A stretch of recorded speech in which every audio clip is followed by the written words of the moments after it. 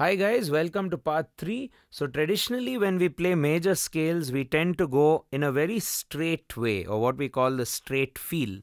And 2 and 3 or 1 2 3 4 5 6 7 8 1 2. Right? We are not really taught taught to go inside the beat or to explore what happens when you count a specific way but you play more things inside what you count, right? So one really good rhythmic opportunity which you have could be swing, where you know a lot of blues and jazz music will be encountered. So, to practice the major scale in a swing system, you generally have to displace the quaver a little bit to the right right? It's not 1 and 2 and 3 it's not so steady or so even. It's more lazier 1 and 2 and 3 and 4 and inevitably the sound of the end and the feeling of that swung beat is what really makes the unique sound right? So one point is where you place the notes which is sort of going to be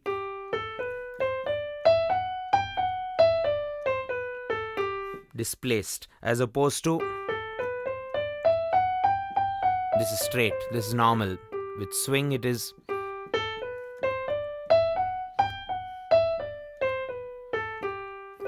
Once you've got the 1 and 2 and 3, the swing feel, what you want to do is make each of those beats sound slightly different. So you may want to go 1 and 2 and 3 and 4 and 1. Like to highlight the and beat makes the music a lot more uh, specific to the, the the blues and the jazz genres of music where they specify or they focus a lot on the subdivisions. In this case, the swing subdivision. So you go one and two.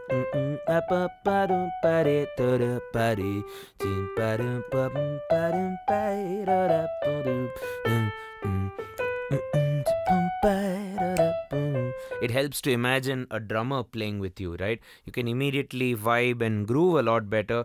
And if you come compare or if you combine this with what we discussed in part one, where we look at it as a seven note passage ascending and descending which it is and make it over make it elongate over eight beats. So one beat becomes a bit longer and you go in the swing world. Make one note pump out a bit longer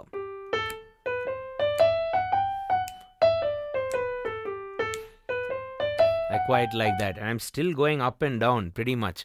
So, a good way to feel this and make it a lot more dynamic and interesting could be to practice the same scale up and down in the swing time, but add a few articulations or a few dynamic expressions, which could be something like uh, as simple as just play the ands a bit aggressively or a bit louder, maybe this way.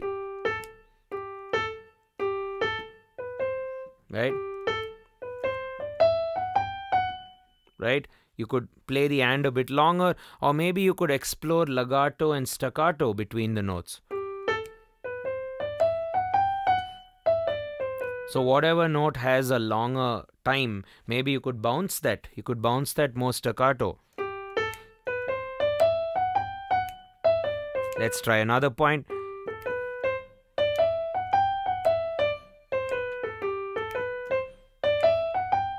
And another way to practice this is if you see my snapping, it's always on the twos and fours of the bar by default. It's sort of how we train ourselves to play genres like blues and uh, jazz music and swing music in general. You don't want to do. Also, doesn't sound so great. So, what you want to do is practice feeling the two and the four of the bar. One, two, three, four, one, two. Right? Essentially where the drummer hits their snare drum. That that could be a great location or a target location. You could also use the metronome to help you get this job done.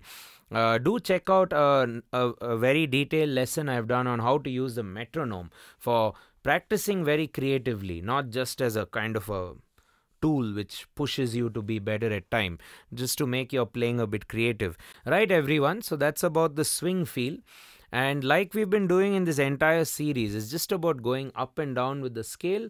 And in the swing department, you're just displacing the and. Da, what was once da da da da da da da da da da da da da it's now going to be da da da pa da pa da pa da pa da pa da pa da feel the twos and the fours play with that swing dynamics where you uh, pump out a few things a bit louder and staccato legato toggle and yeah have fun. So head over to part 4 perhaps after you've digested part 3 a little bit and we are going to dive in further with a few more interesting ways to play the major scale which was once